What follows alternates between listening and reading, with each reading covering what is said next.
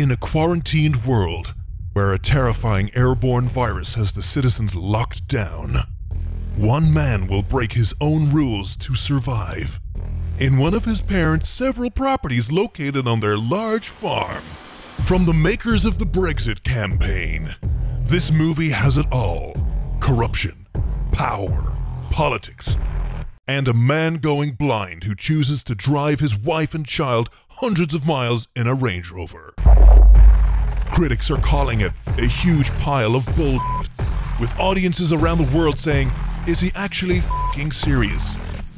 Coming soon to a cinema near you, Dominic Cummings stars in Blind Baby Driver.